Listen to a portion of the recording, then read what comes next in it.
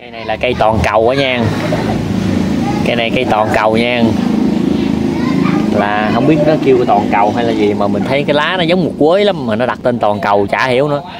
Có phải là một quế siêu lá rí không không biết nữa. Nè, cây toàn cầu nha. Cây số 1 nha. Cái này nó xanh um mà nha, xanh đen luôn. Ngộ lắm. Cái lá thì trang lá một quế à mà không biết phải cái giống một quế lá rí thôi siêu rí không? Nó đó. Có con muỗng đâu. Hai. Ba cây nha. Cái này nó cái này chơi bông chơi lá. Ủa chơi lá mà không biết có bông hay không không biết.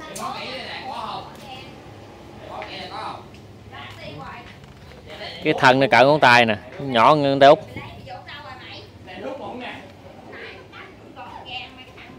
ừ, ba cây. Nó xanh nè nó xanh đen ngộ lắm. Người ta kêu cây toàn cầu đó. Lá y chang lá quế luôn. Mà nó nhỏ xíu à